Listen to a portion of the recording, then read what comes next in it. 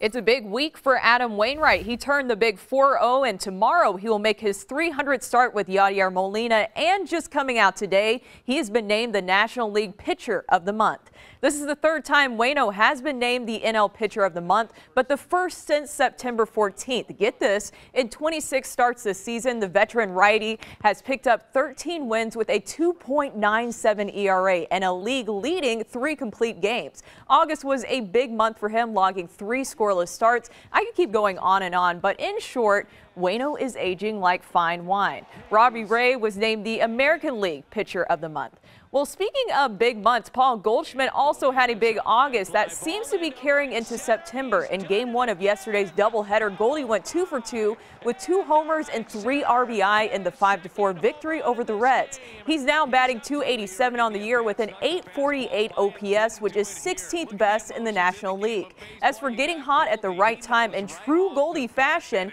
he didn't have anything too flashy to say. Uh, really anything. I mean, mostly just try to do the same thing and – you know, try to hit the ball hard, get a good pitch to hit. Basically, trying to do the same thing and just, you know, know there's going to be ups and downs and just part of the year and just try to show up every day and prepare and play hard, have good at bats, and just kind of let the results take care of themselves. Well, the Blue season is right around the corner, and while there's still some questions surrounding the roster and what it will look like, we now know that Colton Parayko is sticking around for a while.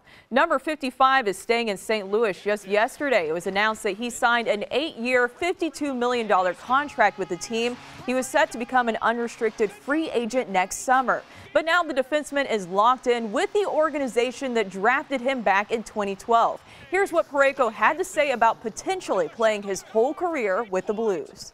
That's special. That's really cool. And um, obviously, first year in the NHL draft, I didn't get drafted. And going into the second year, it's, I mean, obviously they took a chance on me. And so it's pretty cool to uh, obviously be with that team that still took that chance with me. And um, I'm looking forward to to continuing this career and here in St. Louis. And so hopefully everything goes well and we continue to be good and successful and uh, competitive team and and I can spend uh, all my years here in St. Louis.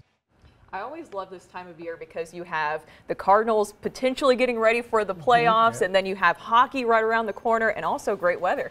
Yeah, like an overlap too, kind of knock on the door of fall yeah, too. Yeah. All right. Well, thanks for joining us tonight for News 4 at 6. We'll see all of you again coming up in just a bit for News 4 at 10.